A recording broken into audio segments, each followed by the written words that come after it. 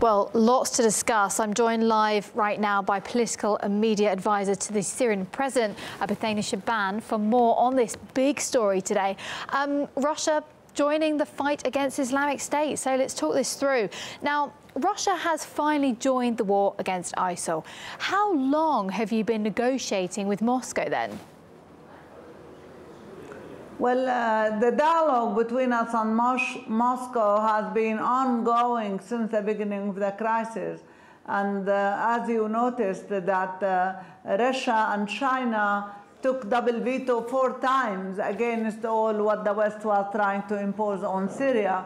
And because really the West did not understand what's happening in Syria, while Russia understood all the way along. So the dialogue between Damascus and Moscow is ongoing. Uh, you know, decades ago, but during this crisis, it has been intensive, it has been real, it has been uh, continuous.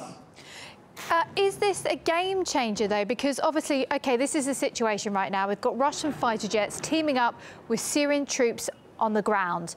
How much of a game changer is that, then, in the fight against ISIL? Well, there is no, uh, no Russian troops on the ground. As you heard Putin and Lavrov today, they said we, our uh, assistance is only uh, the fighter uh, jets. The, uh, in the, exactly. So, but it's not only against ISIL. You know, I don't know why people only use this. Why do they forget Jabhat al-Nusra? Although Security Council resolution spoke about or, or considered both Jabhat al-Nusra and ISIL as terrorist organizations. And besides these, there are tens of terrorist organizations in Syria. There are thousands of, of mercenaries and terrorists coming from all over the world.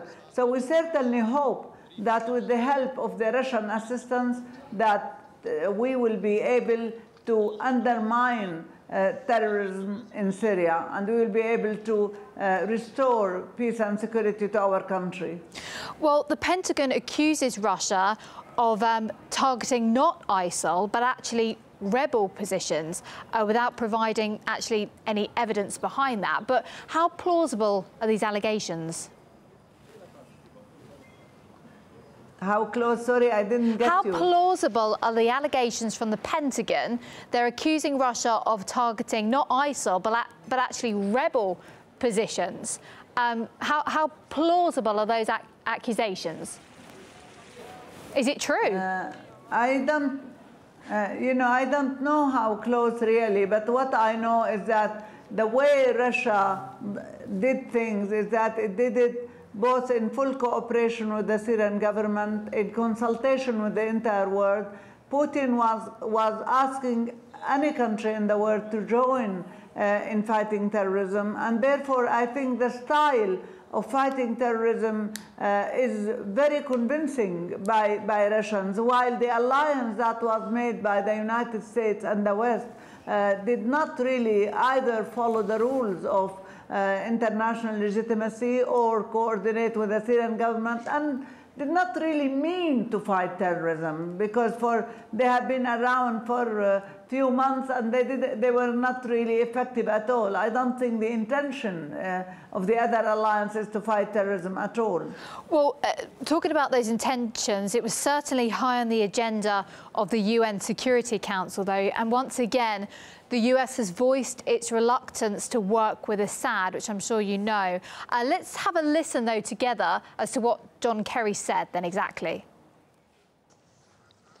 As the terrorists made inroads throughout large swaths of Syria and Iraq, raping, enslaving, and murdering civilians along the way, the Syrian regime didn't try to stop them. Instead, it focused all of its military power on moderate opposition groups who are fighting for a voice in Syria. How fair do you think that those allegations or that opinion of John Kerry is of the situation that's going on in, know, in Syria at the moment? I, I, think. I think there's no grain of truth of what uh, in what John Kerry has said about uh, Syria. I mean, could you imagine that uh, the government would not target uh, terrorists and would target moderate opposition? Uh, after all, uh, the, the, Pentagon announced today that they are not going to arm opposition anymore because they discovered that this opposition they have been arming is selling or giving arms to al-Nusra and probably to ISIL. You know, it's uh, once you are in a terrorist area, you will never be able to know who is who, whether this is Nusra or ISIL or whatever. But one thing is true is that all those carrying arms against the Syrian people, against Syrian institutions, are terrorists, and the Syrian army has been fighting them for the last five years, while the West is uh, looking at our country being destroyed, at our hospitals, at our schools, at our archaeological heritage being absolutely destroyed. You know, it's very easy to sit in New York and talk uh, about concepts, but it's very different. The truth in Syria and the reality is very different from what the Americans and from what John Kerry is saying. Mm -hmm. Well, I think everyone agrees that ISIS, ISIL, must go, right? But how and who must do it, we're not entirely sure. But Western leaders, the interesting thing is they seem receptive to the idea of teaming up with Russia against ISIL. We know that much.